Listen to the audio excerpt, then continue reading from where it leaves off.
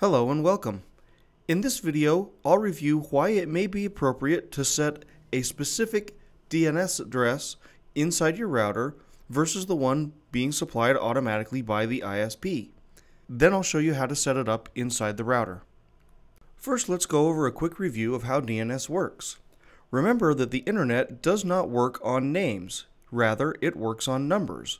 But we as people generally remember names easier than numbers. So in this example, let's use ESPN.com as a website. When ESPN got their domain name, they actually registered with an IP address with the global DNS, which of course stands for Domain Name Service. And all it really is is an address book. So ESPN.com is actually 75.23.55.7. So when an internet device goes and asks for ESPN.com, it's using the name of ESPN.com. Well, it's really not going to ESPN.com, the website. It's actually going to the global DNS, or the address book.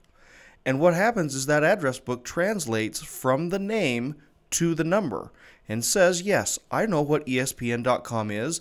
I know what that IP address is. And so it sends that IP address back down to your device. The device then says, Yes, I understand what to do with this because I understand numbers. And now it goes out and says, I'm going to go to that IP address, and at that point gets to ESPN.com.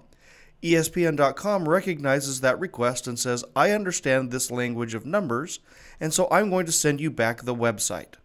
That's how a DNS works.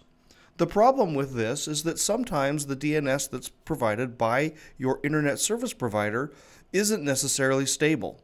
And so a lot of times you can lose the connection to that address book. And the perception to the homeowner is they've lost internet. They may not have lost internet, they may have just lost connection to the address book. But they perceive they've lost internet because every time they try to go to a website, they can't get there. If you're in a situation where the network continually loses connection to the DNS servers, or you want to be proactive and set it up so that the likelihood of that happening is greatly reduced, you can set specific DNS addresses inside the router. Shown on this page are some commonly used and free primary and secondary DNS addresses from both Google and OpenDNS. Let's say I'm going to use the Google addresses in this case. So I'm going to pull up a web browser and log into my router. I'm using the default IP address of the router currently, so it's 192.168.0.1. Of course, I'll be prompted to put in my username and password, and since this is the default, I'll type in admin and admin. Once you get to the quick setup page, which is the default that comes up, you'll notice that under primary DNS here, it says DNS assigned by ISP, which means it is automatically getting DNS IP addresses from the modem that you've got the router plugged into.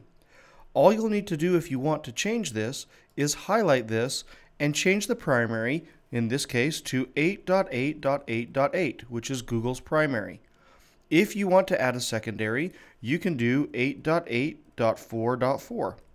Now you do not have to use both of the Google addresses.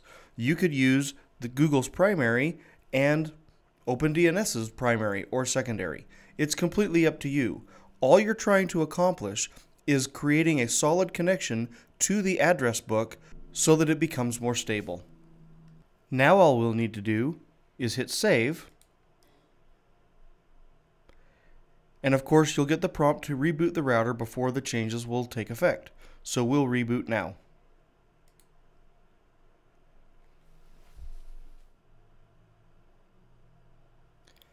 Once the quick setup screen comes back, you're finished. You'll notice that the primary and secondary DNS are now set to Google's in this example. This means that every time a device on this person's network requests a web page, it will now use Google's DNS address book instead of the one provided by the ISP. That's it. You're done. Thanks for watching.